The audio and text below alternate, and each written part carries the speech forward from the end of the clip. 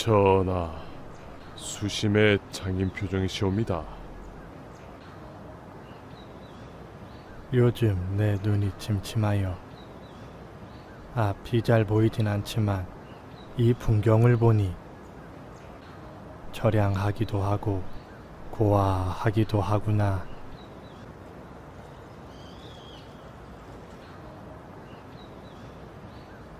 늙는다는 것이 무엇이라 생각하느냐? 아래옵기 황공하오나 때가 타고 새로워지는 것이 반복되는 것이 아닐까 하옵니다. 때가 타고 새로워지기를 반복한다.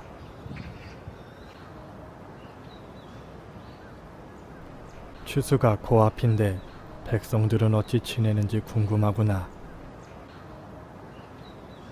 내 손수 백성을 살피고자 하노라.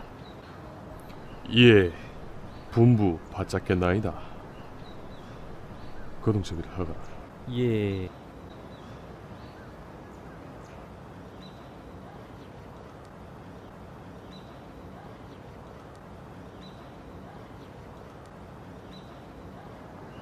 상감마마 납시오.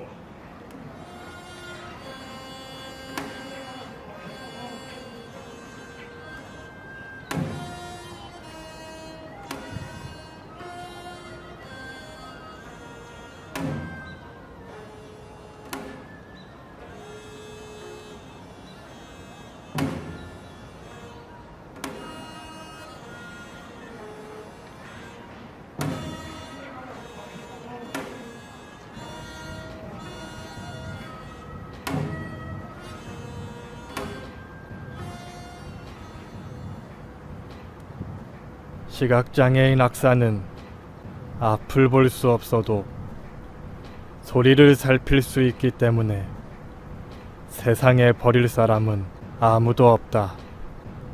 내 이런 마음을 담아 관현맹인을 만들었으니 백성과 함께 즐기는 음악 여민락을 연주하라.